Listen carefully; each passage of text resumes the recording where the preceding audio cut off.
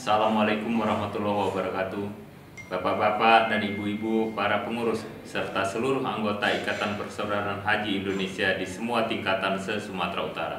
Izinkan saya selaku Ketua Pengurus Wilayah Ikatan Persaudaraan Haji Indonesia Sumatera Utara menyampaikan beberapa imbauan terkait suasana COVID-19 saat ini dan penyambutan bulan suci Ramadan 1441 Hijriah Sebagaimana kita maklumi bahwa saat ini hampir seluruh negara dilanda wabah pandemi coronavirus di SARS 2019 yang berdampak pada berbagai hal, termasuk melemahnya ekonomi masyarakat. Di sisi lain, kita juga saat ini sedang menyambut kedatangan bulan suci Ramadan 1441 Hijriah.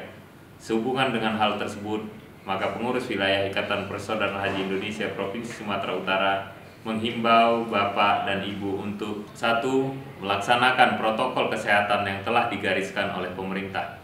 Kedua, mengikuti fatwa tausiah Majelis Ulama Indonesia Provinsi Sumatera Utara sebagai pedoman dalam melaksanakan ibadah.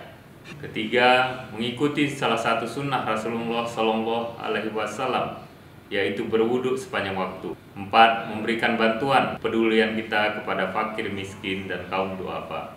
Kelima, memuliakan dan mensucikan Ramadan dengan memperbanyak baca Al-Quran, zikir, dan doa. Semoga Allah Subhanahu wa Ta'ala membantu kita supaya keadaan ini bisa kembali normal seperti semula.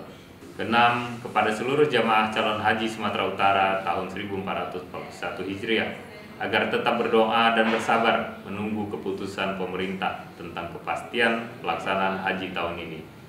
Demikianlah himbauan ini disampaikan. Semoga Allah Subhanahu wa taala memberikan keselamatan, kekuatan dan kesabaran kepada kita semua dalam menghadapi pandemi ini.